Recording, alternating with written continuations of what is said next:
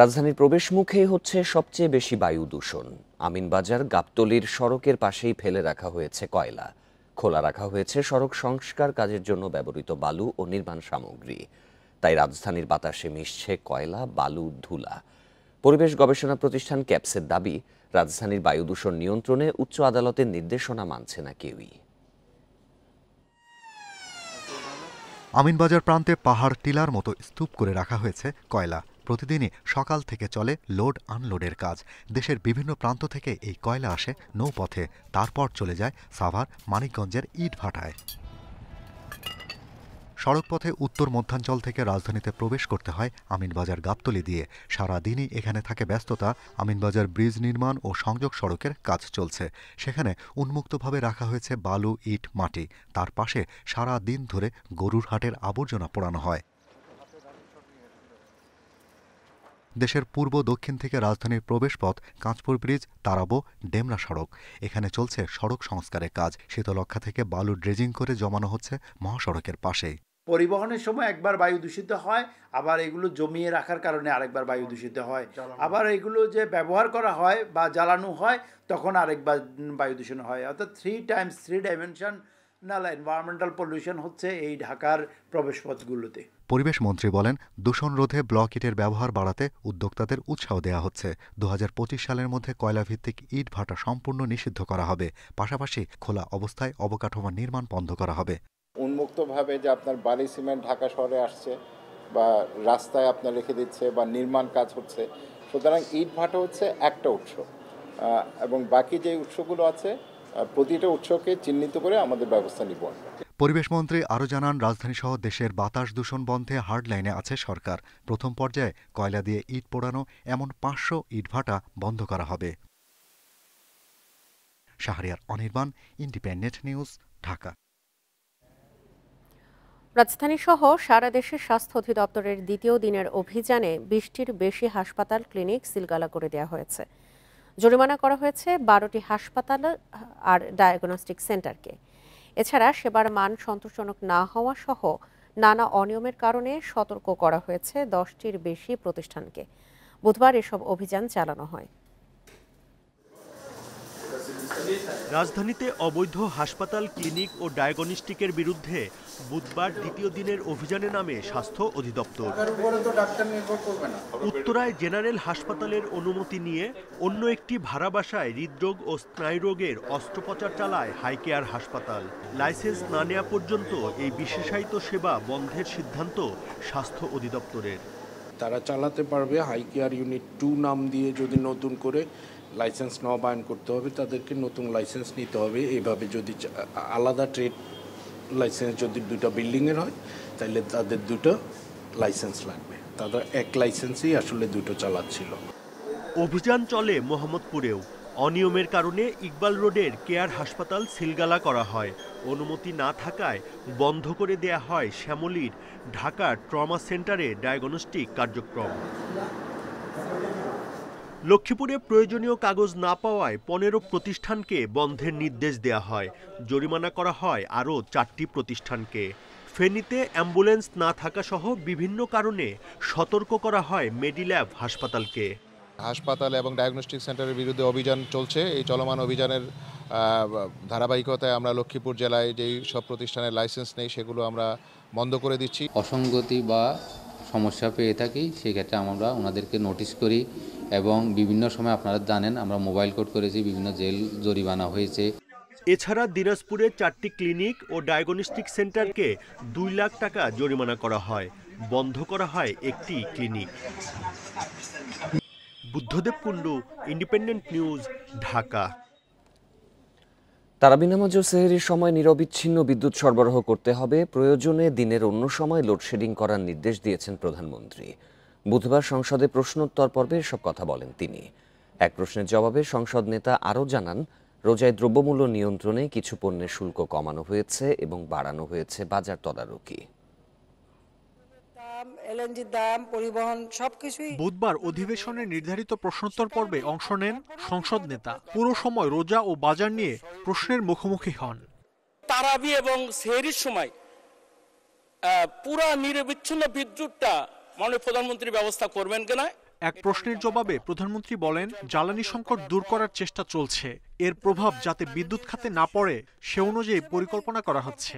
তিনি আশ্বাস দেন রোজায় দিনের একটি সময় লোডশেডিং হলেও তারাবি ও সেহরিতে বিদ্যুৎ থাকবে।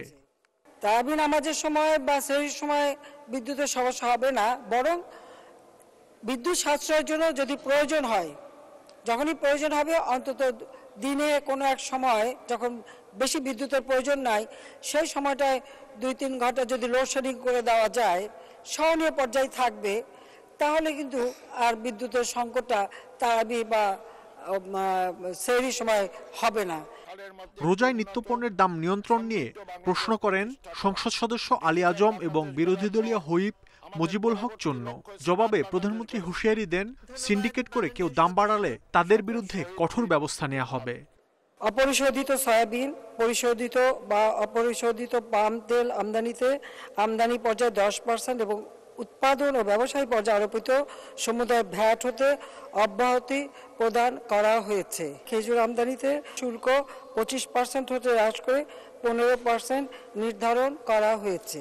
প্রত্যেকটা জিনিসের দাম কিন্তু হ্রাস পেয়েছে কমেছে একেবারে কমে নাই তা না।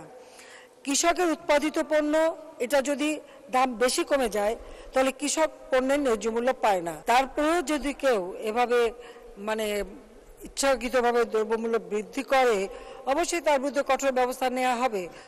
মুদ্রাস্ফীতি ও মূল্যস্ফীতি দ্রুত কেটে যাবে বলেও আশ্বাস দেন সংসদ নেতা। আর্থিক সংকট এক উন্নত দেশ থেকে শুরু করে বহু দেশেই রয়েছে। Mahmud Sharif independent news Dhaka. রোজায় সরকারিভাবে ইফতার পার্টির আয়োজন না করার নির্দেশ দিয়েছেন প্রধানমন্ত্রী। বেসরকারিভাবেও না করার আহ্বান জানিয়েছেন তিনি। অপচয় রোধে বুধবার মন্ত্রী পরিষদ সভায় এসব নির্দেশনা দেন প্রধানমন্ত্রী। এছাড়া বৈঠকে রোজায় অফিসের সময়সূচি ঠিক করা হয়েছে সকাল নয়টা থেকে বেলা সাড়ে তিনটা পর্যন্ত। প্রধানমন্ত্রীর সভাপতিত্বে তার কার্যালয়ে অনুষ্ঠিত হয় মন্ত্রিসভার বৈঠক। পরে সচিবালয়ে সাংবাদিকদের ব্রিফ করেন মন্ত্রিপরিষদ সচিব। বৈঠকে রোজার মাসে অফিস সময়সূচি নির্ধারণ করা হয়েছে। এবারও সরকারি আধা সরকারি স্বায়ত্তশাসিত ও আধা স্বায়ত্তশাসিত প্রতিষ্ঠান চলবে বেলা সাড়ে তিনটা পর্যন্ত। আর জোহরের নামাজের জন্য বেলা সোয়া একটা থেকে দেড়টা পর্যন্ত বিরতি থাকবে। ব্যাংক, বিমা, অন্যান্য প্রতিষ্ঠান, ডাক, রেলওয়ে রাষ্ট্রায়ত্ত শিল্প প্রতিষ্ঠান তারা তাদের নিজস্ব পদ্ধতিতে এবং আইন অনুযায়ী তারা সমাজ সময়সূচি নির্ধারণ করবেন। অপচয় বন্ধ করতে রোজায় সরকারিভাবে কোনো ইফতার পার্টি না করার নির্দেশনা দিয়েছেন প্রধানমন্ত্রী। বেসরকারি প্রতিষ্ঠানকে এ ব্যাপারে নিরুৎসাহিত করেছেন। এই টাকা দান করার আহ্বান জানিয়েছেন তিনি। আমরা যেন অপচয় না আমরা যেন আমরা যেন লোক দেখানো কার্যক্রমে নিজেদেরকে নিয়োজিত না করি। তার থেকে ওই টাকাটা যদি আপনি কাউকে আসলে যদি কাউকে কারও কল্যাণে ব্যবহার করতে চান ওইটা দিয়ে তো আপনি গরিব মানুষকে আপনি যদি যাদেরকে টার্গেট করেন তাদেরকে আপনি এটা বিলিয়ে দিতে পারেন। চাঁদ দেখা সাপেক্ষে বারো মার্চ শুরু হতে পারে রমজান মাস। Hasib Mahmud Shah independent news Dhaka. দ্রব্যমূল্যের ঊর্ধ্বগতি ও অর্থ পাচারের প্রতিবাদে বুধবার সকালে রাজধানীতে বিক্ষোভ করেছে গণতন্ত্র মঞ্চ এ সময় পুলিশের সঙ্গে তাদের সংঘর্ষ হয়। পুলিশসহ গণতন্ত্র মঞ্চের কয়েকজন নেতাকর্মী আহত হন। আটক করা হয় এক বিক্ষোভকারীকে। দ্রব্যমূল্যের ঊর্ধ্বগতি ও অর্থ পাচারের প্রতিবাদে জাতীয় প্রেস ক্লাবের সামনে থেকে সচিবালয় অভিমুখে গণতন্ত্র মঞ্চের বিক্ষোভ মিছিল। মিছিলটিকে ব্যারিকেড দিয়ে নূর হোসেন স্কোয়ারের সামনে আটকে দেয় পুলিশ। মিছিলকারীরা ব্যারিকেড ভাঙতে চাইলে পুলিশের সঙ্গে সংঘর্ষ শুরু হয়। পরিস্থিতি নিয়ন্ত্রণে আনতে লাঠিপেটা করে পুলিশ। এ সময় গণতন্ত্র মঞ্চের নেতা জোনায়েদ সাকি সহ কয়েকজন কর্মী আহত হয়। জোনের এডিসি দুই পক্ষের কয়েকজন আহত হওয়ার কথা স্বীকার করে একজনকে আটকের কথা জানান। তাদের কতজন আহত হয়েছে সেটা আপনারা খোঁজ নিলে বা ভিডিও অ্যানালাইসিস করলে বুঝতে পারবেন। এটা কোনো কাল্পনিক বিষয় নয়। এখানে শত শত ক্যামেরা উপস্থিত। আপনারা এগুলো দেখলে আমার মনে হয় প্রকৃত সংখ্যাটা অনুধাবন করতে পারবেন। এর আগে প্রেস ক্লাবে সংক্ষিপ্ত সমাবেশে গণতন্ত্র মঞ্চের নেতারা বলেন সরকার পতনের জন্য বিদেশিদের দিকে তাকিয়ে না থেকে বড় আন্দোলন গড়ে তুলতে হবে। রোজায় সরকার কোনো পণ্যের দাম কমাতে পারবে না বলে মন্তব্য করেন তারা। বাজারে যখন আগুন, মানুষ যখন চূড়ান্ত একটা দুঃসহ জীবন যাপন করছে, তখন আর এক দফা তারা বিদ্যুতের মূল্য বৃদ্ধির সিদ্ধান্ত নিয়েছেন। একই সাথে জানিয়ে দিয়েছেন নতুন করে আবার গ্যাসের মূল্য বৃদ্ধি করা হবে। পানিরও সেখানে দাম বাড়ানো হবে। জনগণের আন্দোলনের মধ্য দিয়ে এই সরকারকে বিদায় দিয়ে আমাদেরকে বাংলাদেশে মানুষের ভোটের অধিকার এবং গণতান্ত্রিক অধিকার রক্ষা করতে হবে। আর না হলে আমরা এই যে দ্রব্যমূল্যের ঊর্ধ্বগতি, এই বিদ্যুৎ নিয়ে লুটপাট, এই যে আজকে ব্যাংক লোপাট অর্থ পাচার, কোনোটাই ঠেকাতে পারব না। সরকারকে সিন্ডিকেটের সরকার আখ্যা দিয়ে যে কোনো মূল্যে পতন ঘটানোর আহ্বান জানানো হয়। Shahadat Swapan independent news Dhaka. মাধ্যমিক ও উচ্চশিক্ষা অধিদপ্তর এবং স্কুল কর্তৃপক্ষের ভুল বুঝাবুঝিতে ভিকারুন্নিসা নুনের একশো উনসত্তর জনের ভর্তি বাতিল করা হয়েছে। অভিভাবকদের প্রশ্ন, এই শিক্ষার্থীদের দায় এখন কে নেবে?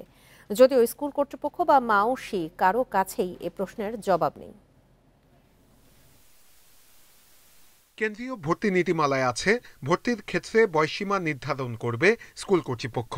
এবছর বিকাদুন্নিসা নুন স্কুলে প্রথম শ্রেণীতে ভর্তিতে বয়স নির্ধারণ রয়েছে, যাদের জন্ম দু হাজার সতেরো সালের পয়লা জানুয়ারি থেকে একত্রিশ ডিসেম্বরের মধ্যে। চলতি বছর এক হাজার ছয়শো একুশটি আসনে প্রথম শ্রেণীতে ছাত্রী ভর্তি হয়। ভর্তির পরে দেখা যায় দুহাজার পনেরো সাল এবং দুহাজার ষোলো সালে জন্ম নেয়া একশো উনসত্তর জন শিশু ভর্তি হয়েছে। বিষয়টি নিয়ে অপেক্ষমান তালিকায় থাকা কয়েকজন শিশুর অভিভাবক উচ্চ আদালতে রিট করেন। বুধবার উচ্চ আদালত থেকে মাধ্যমিক ও উচ্চশিক্ষা অধিদপ্তরকে বিষয়টি নিষ্পত্তি করতে নির্দেশ দেয়া হয়। এর পরিপ্রেক্ষিতে নীতিমালা না মানায় এই শিশুদের ভর্তি বাতিল করে দেয় মাউসি। কাদের ভুলে এই ঘটনা ঘটেছে সেটি তদন্ত করা হবে। তারা যাচাই বাছাই যদি করতো তাহলে এরা সুযোগ পেত না। লটারির মাধ্যমে গিয়েছে কিন্তু স্পষ্ট বলা আছে যাচাই বাছাই করে তাদের শর্ত অনুযায়ী ভর্তি করতে হবে। তাদের শর্ত যদি ব্যত্যয় ঘটে থাকে, লটারিতে চান্স পেলেও সে সুযোগ পাওয়ার কথা না। ভুল বোঝাবুঝির কারণে এই অবস্থা হয়েছে জানিয়ে স্কুল কর্তৃপক্ষ বলছে, মাউসি থেকে লটারিতে যাদের সুপারিশ করা হয়েছে, তাদেরই ভর্তি করা হয়েছে। বয়স যে যাচাই বাছাইয়ের প্রয়োজন ছিল, সেটি তখন দেখা হয়নি। পনেরো সালে এবং ষোলো সালে এবং আঠারো সালে যাদের জন্ম, এরকম কিছু বাচ্চার লটারিও আমাদের এখানে চলে আসছে। পনেরো ষোলোটার ব্যাপার আমরা মনে করেছি যে আসলে ওনারা তো আমাদের অভিভাবক। অভিভাবকরা যখন আমাদের লটারিতে উঠিয়ে দিয়েছেন, তাহলে আমরা নিয়ে নিই বাচ্চাদের। এদিকে অভিভাবক নেতারা বলছেন বড়দের ভুলের দায় এই শিশুরা কেন নেবে? এই ভর্তি বাতিলে শিশুদের ওপর মারাত্মক খারাপ প্রভাব পড়বে। ভুল বুঝাবুঝি যাই হোক এরা এখন কি করবে? যাই কোথায় ভর্তি হবে এবং তাদের মনের অবস্থা কি হবে এবং পরিবারের মনের অবস্থা কি হবে? এদিকে এই শিক্ষার্থীদের ভবিষ্যৎ কি সেটি নিয়ে কোনো কর্তৃপক্ষের কাছেই সদুত্তর নেই। Nure Alam independent news Dhaka. ঢাকার বিশেষ জজ আদালত ছয় থেকে পুলিশের বরখাস্ত ডিআইজি মিজানের চোদ্দ বছরের সাজার রায়ের মধ্যে কক্সবাজারের ওসি প্রদীপের নাম সহ রায় কপি হয় বিস্মিত উচ্চ আদালতের আইনজীবীরা। এমন ভুল যেন না হয়, এ বিষয়ে বিচারিক আদালতকে সতর্ক করেছে হাইকোর্ট। তবে দীর্ঘ শুনানি শেষে বুধবার দেয়া রায়ে ডিআইজি মিজানের চোদ্দ বছরের সাজা বহাল রেখেছে উচ্চ আদালত। দুই হাজার তেইশ সালের জুনে পুলিশের বরখাস্ত ডিআইজি মিজানুর রহমানকে তিন কোটি টাকার অবৈধ সম্পদ অর্জন ও তিন কোটি টাকার সম্পদের তথ্য গোপনের অভিযোগে দুদকের মামলায় চোদ্দ বছরের সাজা দেন ঢাকার বিশেষ জজ আদালত ছয়। এর বিরুদ্ধে হাইকোর্টে আপিল করেন মিজান। দীর্ঘ শুনানি শেষে বুধবার বিচারপতি কামরুল হাসান মোল্লার হাইকোর্ট বেঞ্চ সেই সাজা বহাল রাখেন। পুলিশ কর্মকর্তাদের মধ্যে এত বড় উচ্চপদস্থ কর্মকর্তা যিনি দুর্নীতির দায় দুর্নীতির দায় এত বড় উচ্চপদস্থ কর্মকর্তার কখনো ট্রায়াল হয়েছে কিনা আমার জানা নাই। সম্ভবত এটাই বাংলাদেশের প্রথম, যার সাজা সুপ্রিম কোর্টের হাইকোর্ট বিভাগ পর্যন্ত বহাল থাকল। এখন আমরা রায় কার্যকর করার জন্য যথাযথ আইনি পদক্ষেপ নিব। তবে ঢাকার বিশেষ জজ ছয়ের বিচারক মঞ্জুরুল ইমামের দুই হাজার তেইশ সালে দেয়া সাজার রায়ের প্রায় এগারো পৃষ্ঠা হুবহু কক্সবাজারের বরখাস্ত ওসি প্রদীপের সাজার রায় থেকে কপি করা বলে দাবি আইনজীবীদের, যা হাইকোর্টে তুলে ধরেন তারা। এমনকি আসামি মিজানের পরিবর্তে প্রদীপ ও তার স্ত্রী টুমকির নামও কপি হয়েছে। ডিআইজি মিজানের যে মামলায় সেখানে বলা হচ্ছে আসামি প্রদীপ কুমারের ঘুষ ও দুর্নীতির মাধ্যমে অর্জিত সম্পত্তি স্থানান্তর রূপান্তর ও হস্তান্তরের মাধ্যমে স্ত্রী চুমকি কারণের নামে প্রদর্শন করায়। উভয় আসামি উক্ত আইনের ধারা চারের দুই মোতাবেক দণ্ডনীয় এবং ধারা তিনের চার মোতাবেক এইরূপ সম্পত্তি বাজেয়াপ্তযোগ্য। রায় এমন ভুলে বিস্ময় প্রকাশ করে বিচারিক আদালতকে সতর্ক করেছে হাইকোর্ট। সেটা ক্লারিক্যাল এরার সেখানে আমাদেরও সাবমিশন ছিল। বিচারিক আদালতকে সতর্ক করে দেওয়া হোক ভবিষ্যতে যেন এই ধরনের না হয়। যে একটা দরখাস্তের কথা আরেকটা দরখাস্তে চলে যায় এটা হতেই পারে স্বাভাবিক। তবে একজন বিচারকের এটা হওয়া উচিত না। একটি হচ্ছে চট্টগ্রামের মামলা এবং আরেকটি হচ্ছে ঢাকার মামলা। সো এখানে ক্লারিক্যাল ভুল হওয়ারও কোনো বিষয় নেই যে একই কোর্টে মামলা সেদিক থেকেও যে কোনো ভুল হয়েছে। এক আসামির রায়ে আর এক আসামির নাম সহ কপি করার মতো ভুল আপিল বিভাগেও তুলে ধরার কথা জানিয়েছেন মিজানের আইনজীবী। জাহিদুল বাসার ইন্ডিপেন্ডেন্ট নিউজ ঢাকা। সাগর থেকে পাইপলাইনে জ্বালানি তেল সরবরাহে সিঙ্গেল পয়েন্ট মোরিং বা এসপিএম প্রকল্পের দ্বিতীয় অংশের পরীক্ষামূলক কার্যক্রম চালু হচ্ছে আজ। এর মাধ্যমে মহেশখালীর কালারমার ছড়ায় স্থাপন করা স্টোরেজ ট্যাঙ্ক থেকে পাইপলাইনে চট্টগ্রামের স্টার্ন রিফাইনারিতে জ্বালানি পরিবহন শুরু হবে।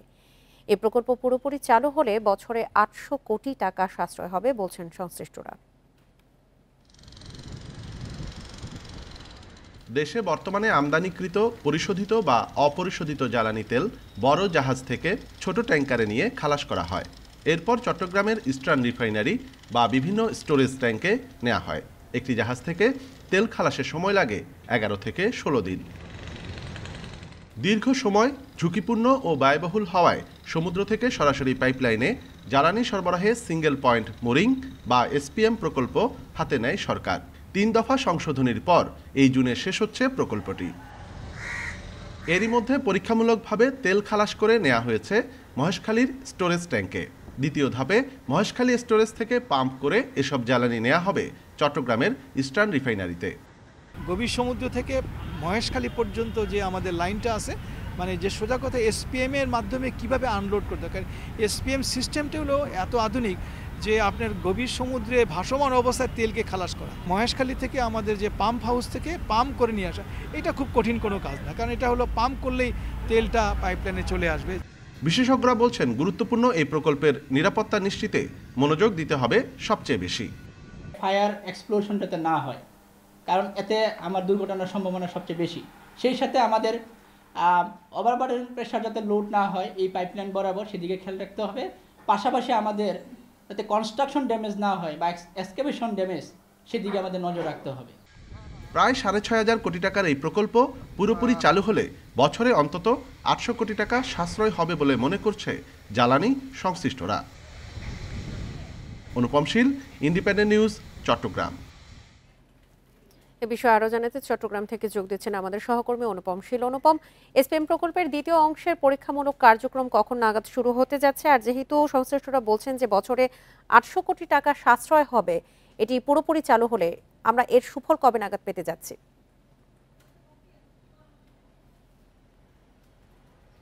প্রথমত হচ্ছে আমরা যতটা বিভিন্ন সূত্র থেকে খবর পাচ্ছি যে আজকে সকাল দশটা থেকে এই কার্যক্রম শুরু হওয়ার কথা।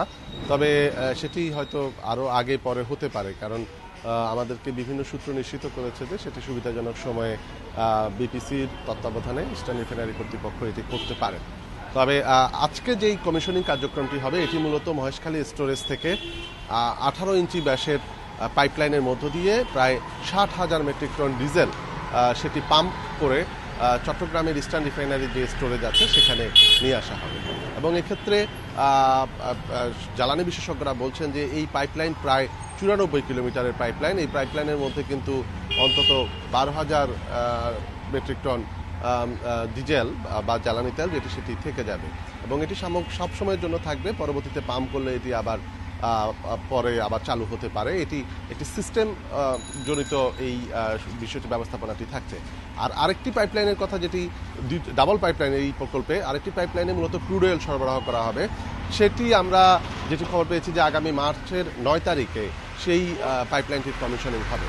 এবং বিপিসির পক্ষ থেকে যেটি বলা হচ্ছে যে এখন যেই অংশের কমিশনিং করা হচ্ছে, এটি প্রযুক্তিগতভাবে তুলনামূলক কম চ্যালেঞ্জিং কিন্তু এর আগে ডিসেম্বরে, গত ডিসেম্বরে যে প্রথম অংশটি কমিশনিং করা হয়েছিল, অর্থাৎ মহেশখালী সমুদ্রে যে মুরিং, অর্থাৎ যেটি সিঙ্গেল পয়েন্ট মুরিং, সেখানে জাহাজ থেকে তেল খালাস করে সেটি মহেশখালী স্টোরেজে নিয়ে আসার যে কার্যক্রমটি, সেটি আরও অনেক বেশি চ্যালেঞ্জিং ছিল। এবং সেই সময় আমরা দেখেছি যে প্রায় এই ষাট হাজার মেট্রিক টন ডিজেল এবং প্রায় তিরাশি হাজার মেট্রিক টন ক্রুড অয়েল মহেশখালীর স্টোরেজের ট্যাঙ্কে গুলোতে রাখা হয়েছে। এবং এটি মূলত গত বছরের জুলাই মাসেও থেকে চেষ্টা করা হচ্ছিল যদিও প্রথম দিকে আমরা দেখেছি যে পাঁচ ঘণ্টা এই কার্যক্রম চালানোর পরে সেক্ষেত্রে ত্রুটি দেখা যাওয়ায় সেটি আবার পরবর্তীতে বন্ধ করে দেওয়া হয় এবং সেটি ধাপে ধাপে পিছিয়ে ডিসেম্বর নাগাদ সেই কমিশনিং কার্যক্রমটি শেষ করা হয়েছে। এবং আজকে যেটি চলছে, আগামী নয় তারিখে যে ক্রুড অয়েলের মাধ্যমে পরিবহনের মাধ্যমে মূলত এই দ্বিতীয় ধাপের কমিশনিংটি শেষ হতে পারে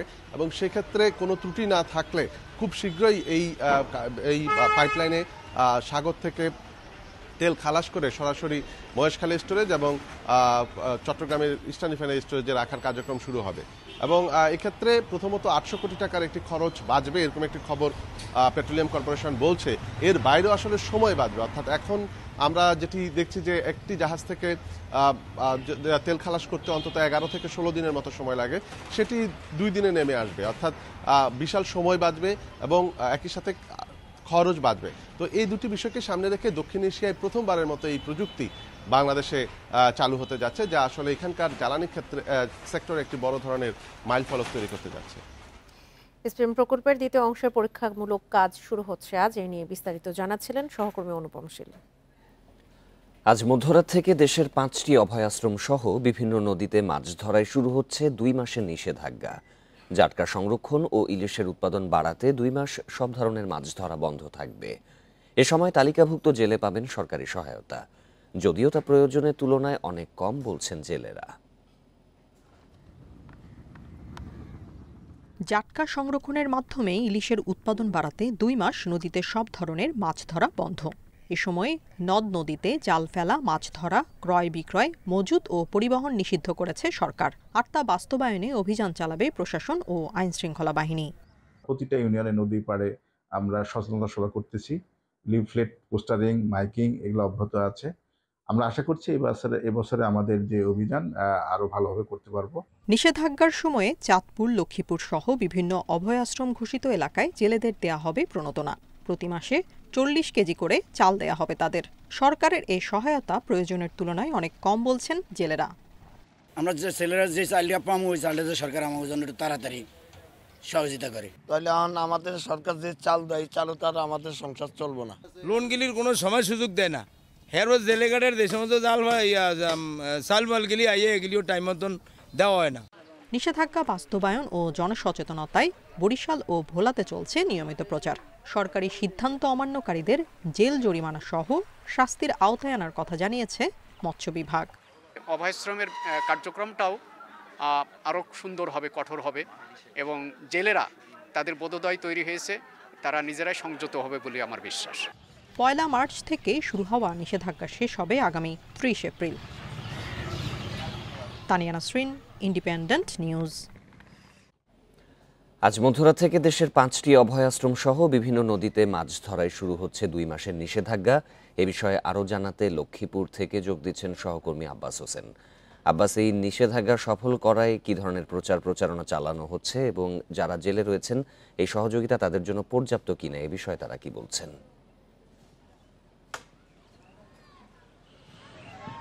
আজ মধ্যরাত থেকে মূলত যে দুই মাসের যে নিষেধাজ্ঞা সেটি শুরু হবে। অর্থাৎ মার্চ, এপ্রিল এই দুই মাস লক্ষ্মীপুরের রামগতির আলেকজান্ডার থেকে চাঁদপুরের যে সাইটন এলাকা রয়েছে, এই একশো কিলোমিটার এলাকায় কিন্তু অবায়স্ত হিসেবে ঘোষণা করা হয়েছে। এই এই এলাকায় কিন্তু সকল ধরনের মাছ ধরা নিষিদ্ধ ঘোষণা করেছে মৎস্য বিভাগ। তবে এই এই সময় যারা এই নিষেধাজ্ঞা অমান্য করে নদীতে নামবেন, তাদের বিরুদ্ধে ব্যবস্থা নেওয়া হবে। জেল জরিমান বিধান রয়েছে। এবং এই এই সময় কিন্তু কোনো মাছ মজুত করা যাবে না তারপরে পরিবহন করা যাবে না, এরকম নিষেধাজ্ঞা দেওয়া আছে। কিন্তু আমরা এই বিষয়ে কথা বলছি, এখানকার যারা মৎস্য কর্মকর্তা রয়েছেন তাদের সাথে তারা যেটি জানিয়েছেন, এবারের অভিযানের জন্য তারা ইতিমধ্যে নদী এলাকা রয়েছে, সেখানে প্রচার প্রচারণা চালাচ্ছেন, মাইকিং করছেন। এই নিষেধাজ্ঞা যেন সবাই মেনে চলে সেটি তারা অব্যাহত রেখেছেন। অর্থাৎ এই জাটকা সংরক্ষণ এবং ইলিশের উৎপাদনের জন্য মূলত এই নিষেধাজ্ঞা দেওয়া হয়, এমনটি মৎস্য বিভাগ থেকে জানানো হয়েছে। তবে মৎস্য মৎস্য বিভাগ যেটি বলছেন এবার কিন্তু যৌথ অভিযান তারা পরিচালনা করবে। নৌ পুলিশ কোস্টগার্ড পুলিশ এবং যে স্থানীয় প্রশাসন রয়েছে মৎস্য বিভাগের নেতৃত্বে প্রতিনিয়ত তারা অভিযান অব্যাহত রাখবেন এমনটি বলেছে তবে আমরা এখানে যে জেলেরা রয়েছে এই লক্ষ্মীপুরে কিন্তু প্রায় বাউন্ন হাজার জেলে তারা এই মেঘনাতে মাছ শিকার করে তারা জীবিকা নির্বাহ করে। কিন্তু আহ, এবারে যদিও তেতাল্লিশ হাজার জেলে নিবন্ধিত রয়েছে কিন্তু এবার আঠাশ হাজার তিনশো জেলেকে যে বিজেপি চাল দেওয়া হবে প্রত্যেক জেলেকে যে চল্লিশ কেজি হারে অর্থাৎ চার মাস এই প্রণোদনা দেওয়ার কথা বলছেন মৎস্য বিভাগ। তবে এটি জেলেরা কিন্তু যেটি বলছেন যে এটি একদম অপ্রতুল। এর বাইরে তারা নিবন্ধিত জেলে রয়েছে। এখান থেকে অনেক জেলে বাদ বাদ রয়েছে। তাদেরকে পর্যায়ক্রমে এই যে বিজেপির আওতার যে আনার সেটি অব্যাহত রাখবে বলে জেলা মৎস্য বিভাগ আমাদেরকে জানিয়েছে। তবে কিন্তু জেলেদের যে অভিযোগ যেন পর্যাপ্ত ইয়া, যে প্রকৃত যে জেলেরা রয়েছে যেন তারা বিজিএফটা পায় চালটা পায় তাদের এটি দাবি। কিন্তু প্রতি বছর এই নিয়ে অনেক অভিযোগ থাকে যেন এবার এই অভিযোগ যেন মুখোমুখি না হতে হয় জেলেদের এমনটি দাবি করেছেন জেলেরা। মধ্যরাত থেকে দুই মাসের জন্য নদীতে ধরা যাবে না মাছ এ বিষয়ে লক্ষ্মীপুর থেকে জানাচ্ছিলেন সহকর্মী আব্বাস হোসেন। রাজধানীর বাড্ডা থানার বেড়াইদ এলাকার একটি বাসা থেকে বাবা ছেলের ঝুলন্ত মরদেহ উদ্ধার করেছে পুলিশ। বুধবার সন্ধ্যার পর বাবা গিয়াসুদ্দিন ও ছেলে রাকিবের মরদেহ উদ্ধার করা হয়। পুলিশ জানায় অবসরপ্রাপ্ত স্কুল শিক্ষক বাবার সঙ্গে ছেলে রাকিব বেড়াইদ এলাকায় ভাড়া থাকতেন। রাকিব বিদ্যুতের কাজ করতেন। দুই বছর আগে মা মারা যাওয়ার পর থেকে ছেলে রাকিবের সঙ্গে বাবা গিয়াসুদ্দিনের নানা বিষয় নিয়ে মনোমালিন্য ছিল। ধারণা করা হচ্ছে পারিবারিক কলহের জেরে প্রথমে বাবা ও পরে ছেলে আত্মহত্যা করে। তাদের কোনো আত্মীয় স্বজনের খোঁজ না মেলায় বিস্তারিত পরিচয় জানা সম্ভব হয়নি বলে জানায় পুলিশ। আমরা তাৎক্ষণিকভাবে ঘটনাস্থলে উপস্থিত হয়ে ঘটনার সত্যতা পাই যে বাবা এবং ছেলে দুজনের লাশ ফ্যানের সাথে ঝুলন্ত অবস্থায় ছিল। রাজশাহী মেডিকেলে নবজাতককে ভর্তি করিয়ে লাপাত্তা হওয়া বাবা মায়ের খোঁজ মেলেনি এখনও সিসি ক্যামেরার ফুটেজ দেখে তাদের শনাক্তের চেষ্টা চলছে বলে জানিয়েছেন হাসপাতালের পরিচালক। এদিকে অস্ত্রোপচারের মাধ্যমে শিশুর জন্মগত ত্রুটি সরানো হয়েছে। পুরো সুস্থ হলে পাঠানো হবে সমাজসেবা অধিদপ্তরের ছোটমণি নিবাসে। গেল চব্বিশ ফেব্রুয়ারি রাজশাহী মেডিকেলে এক নবজাতককে ভর্তি করিয়ে লাপাত্তা হন বাবা মা। পরে পরীক্ষা নিরীক্ষায় শিশুটির পায়ুপথে জন্মগত ত্রুটি ধরা পড়ে। চিকিৎসকরা জানান, অস্ত্রোপচারের পর শিশুটি এখন অনেকটাই সুস্থ। স্বাভাবিক জীবনযাপন করতে পারবে। বাচ্চাটির পায়ুপথ বিকশিত হয়নি। সেখানে বাচ্চাটি গত সোমবারে, অর্থাৎ ছাব্বিশ তারিখে একটি অপারেশন সম্পন্ন করা হয়। হাসপাতালের পরিচালক জানান, থানা ও আদালতের মাধ্যমে শিশুটিকে সমাজসেবা অধিদপ্তরের কাছে হস্তান্তর করা হয়। সিসি ক্যামেরা ফুটেজ দেখে তার বাবা মাকে শনাক্তের চেষ্টা চলছে। এত পেশেন্ট এত বেবিজ এখানে আসে, বাচ্চারা, বাচ্চাদেরকে নিয়ে আসে বাবা মা হ্যাঁ ইট ইজ ভেরি ডিফিকাল্ট যে ওই সময় এটাকে স্পট করা যে স্পেসিফিক্যালি কে ছিল এটা। হ্যাঁ তারপরে আমি যেটা বলেছি, আমরা এখনও অ্যানালাইসিস করছি। শিশুটি এখন হাসপাতালের পেডিয়াট্রিক সার্জারি বিভাগে চিকিৎসাধীন। পুরোপুরি সুস্থ হওয়ার পর তাকে সমাজসেবা অধিদপ্তরের ছোটমণি নিবাসে পাঠানো হবে। এখন বাচ্চাটা নয় নম্বর ওয়ার্ডে আছে। একটু ছোট একটা সার্জারি হয়েছে বাচ্চাটার। সার্জারি শেষে বাচ্চাটা সুস্থ হলে ছোট নিবাসে ফিরে যাবে। দত্তক নেওয়াটা আসলে অনেকে নিয়মটা জানে না জানতে চাচ্ছে। এই শিশুটিকে দত্তক নিতে এরই মধ্যে অনেকে যোগাযোগ করছেন। এই বিষয়ে চূড়ান্ত সিদ্ধান্ত নেবে পারিবারিক আদালত। ইন্ডিপেন্ডেন্ট নিউজ বইমেলার সময় আরও দুই দিন বাড়ায় উচ্ছ্বসিত বইপ্রেমীরা। তবে দাম তুলনামূলক বেশি হওয়ায় বই কেনার পরিমাণ কমিয়েছেন বলে জানান অনেকেই। এদিকে শেষের দুই দিন ছুটি হওয়ায় ভিড় এবং বিক্রি বাড়বে বলে আশা করছেন বিক্রেতা ও প্রকাশকরাও। অমর একুশে বইমেলায় বিদায়ের সুর। যোগাযোগ ব্যবস্থা ভালো হয় এবার শুরু থেকেই উপচে পড়া ভিড় দেখা গেছে। আমি মেলা থেকে এক্সপেরিমেন্টের বই তারপরে হলো গল্পের বই এসব কিনেছি। আমাদের শুরুর দিকেও একটা ব্যাপক চাহিদা ছিল। বর্তমানে আলহামদুলিল্লাহ আরও ভালো হচ্ছে। এখন ডে বাই ডে আমাদের সেলস ইনক্রিজ হচ্ছে আর কি।